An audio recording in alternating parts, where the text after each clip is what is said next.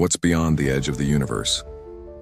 When you think about the edge of the universe, it sounds like there should be a border, like a wall or a fence, but it's not.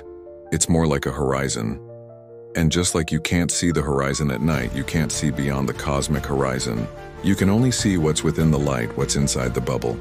So what's beyond the bubble? Well, here's one theory. Some scientists believe that the universe is infinite, that it expands forever. But that's not the only theory. I have another theory for you.